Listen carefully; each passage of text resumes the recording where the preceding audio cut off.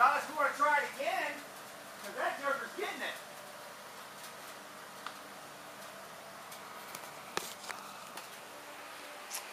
Uh, this is Bill Cannon from Awesome Engines. We are here today dynoing a SR 598 that uh, a customer is had done. We did all the machine work on it. It's a brand new combination. We've not done any dyno with the SR stuff. We have used the DR stuff, but this motor just did 1120 horsepower at 7200 RPM on like the third pull we've made on the motor. And this thing is only uh, 12 to 1 compression. We're going to put a little spray on it. It is a 60 millimeter cam setup, four and a half inch uh, crank, billet rods. It is 12 to 1. It's a Wiseco piston. It's got the SR20 head. It's stainless stuff, and uh, it's got a 1300 on it. The camshaft, I can't tell you what the the the specs are, but it's big, uh, but not as big as you would think. And uh, it's 900 lift. It does have a crank trigger. It's got the good oil pan, and just an overall really killer motor. I'm gonna let you take a look at it now.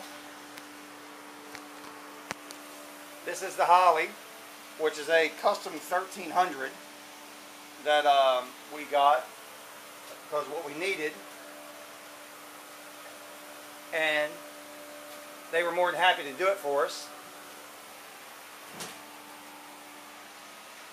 I just had to shut off the water to the dyno.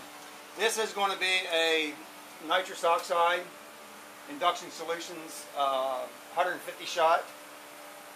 Uh, it's got an ATI dampener on it with a crank trigger. It's got a four stage uh, high-end Moroso pump. And um, it's got the 20385, I'm sorry, 21049 steel Moroso kickout pan. Like I said, the motor just did 1120 horsepower at uh, 7200 RPM, 33 degrees, 32 and a half degrees time, and he only let me put a half on it. And uh, we are running uh, 112 Renegade race fuel. So there she is, aluminum block, really nice piece. And um, God bless the boys in the 850 class.